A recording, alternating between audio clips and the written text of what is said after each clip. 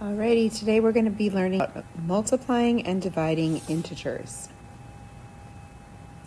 So lucky for us, multiplication and division have the same rules. So we're going to start with what happens when we have the same sign, which means they're both positive or both negative. And when that happens, let me see if I can write in here, the answer is always positive. So if you're multiplying or dividing two positives or two negatives, the answer is always positive. So we'll start with our easy peasy example of 6 times 7. Positive 6 times positive 7 was 42. The actual multiplying and dividing part is the same as it was when you were little. It's just um, now figuring out if the answer is going to be positive or negative. So example B has two negatives being multiplied. Negative 9 times negative 5 is positive 5 because we have two signs that are the same, both negatives.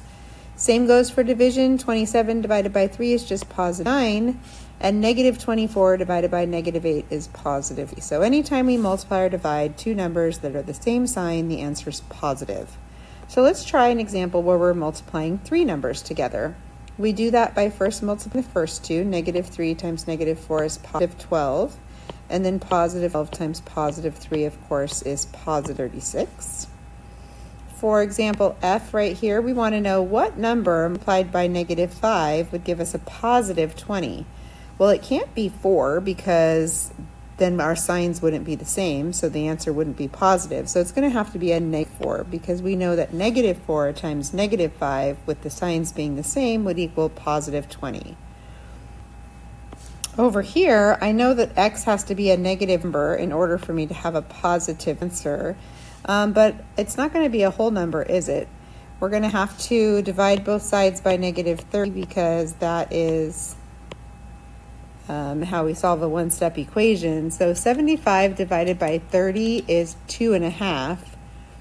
But I know it has to be a negative two and a half in order for my answer to be positive because a negative 30 needs to be multiplied by another negative in order for the answer to be positive. And for h, in order to get a positive 9, I have to have a negative number up where the x is right here. This has to be a negative number so that we have a negative divided by a negative to give us a positive.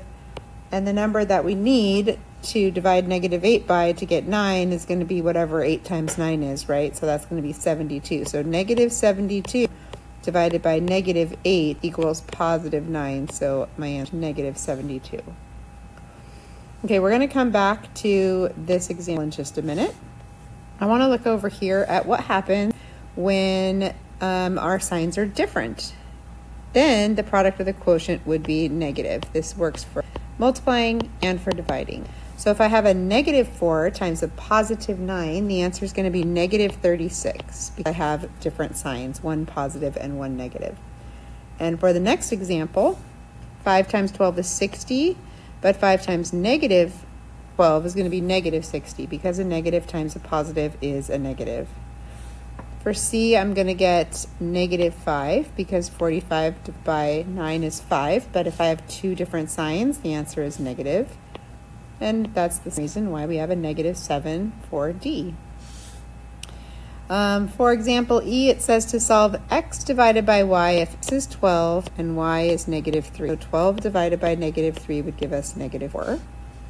This example, negative 3 times 20 is negative 60. And then negative 60 divided by 15 is going to give me negative 4. So I have a negative divided by a positive. For G, I have 2a, which means 2 times a, so 2 times negative 2 divided by negative 4 negative 4 divided by negative 4. And remember from the other side of the notes that if we have signs that are the same, a negative divided by a negative, the answer is positive. And then last, let's see, we've got these examples where we're missing a number. So we want to know what number times negative 12 is negative 72. Well, it's definitely going to be positive in order for me to get that negative answer. A negative times a positive gives me a negative.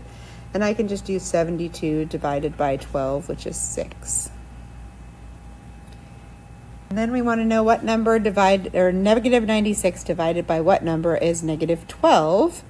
So I can do 96 divided by 12. It's not going to go, oh, it is going to go unevenly, so it's 8. so um, 8 times 12 is 96, and then this needs to be a positive 8 in order for this answer to be negative, because a negative divided by a positive is a negative.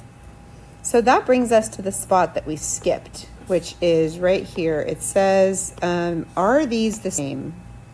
Negative 9 squared and parentheses negative 9 squared. And of course, you probably guessed the answer is no. Otherwise, we wouldn't be asking you, right? So let's look at why the answer is no. Answer is no because this one is just saying, what is the opposite of 9 times 9? which would be negative 81. But this one is asking you, what is negative 9 times itself two times? And that's positive 81. Think of it this way, that the variable, I mean, not the variable, the exponent goes with whatever it's touching. So this, in this case, it's only touching the 9, so it's the 9 that we're multiplying times itself. But in the second example, it's touching the parentheses, so it's everything in parentheses being multiplied by itself. That's every math teacher's favorite question asked on a test about this topic. So I'm sure you understand that. Thanks for watching.